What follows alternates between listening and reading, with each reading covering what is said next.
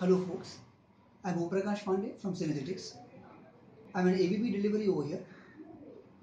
The key focus points that we're going to discuss today would be the technology strategy formulation, right? The offering strategy and the competency process that we follow over here at Synergetics.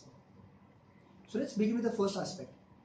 As far as technology strategy formation is concerned, here we focus upon some of the key aspects where practice heads along with respective tech leads, they do a good amount of research on the market strategies, look at various trends which are happening, and they ensure that we have some of the commonly used technologies across the globe. Now, once they have done their research, they brainstorm it with respective practice heads and give these details to AVP technology. AVP technology assesses them, showcases them with the entire strategy team now, once these offerings are being finalized, these offerings are shared with AVP delivery, which is me.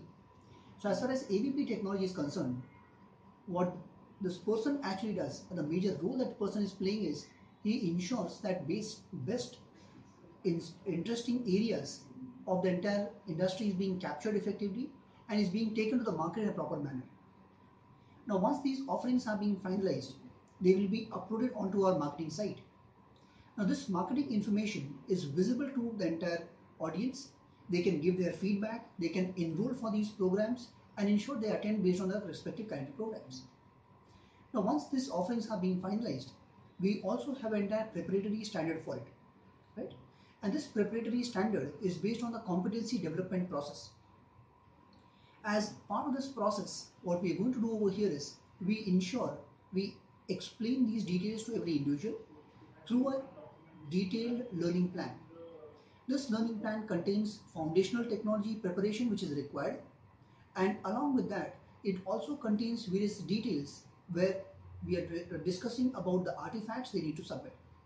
These artifacts would be in terms of presentations, case studies, assessments and along with this it will also have a real world development environment which will be shared with number of individuals. AVP technology publishes these learning plans and assigns them to respective SMEs. These SMEs will work on these on the respective plan which is being shared and they will implement these things under guidance of AVP delivery and taking help from practice sets and respective techniques. Now once this process is being completed, this final implement goes this thing goes into final implementation phase where these things are finally rolled out to the market. Now in this video, we have explained about the entire competency development process at Synergetics along with the technology strategy. In the next video, I'll show you about the competency handover by one of our SMEs. Thank you very much everyone.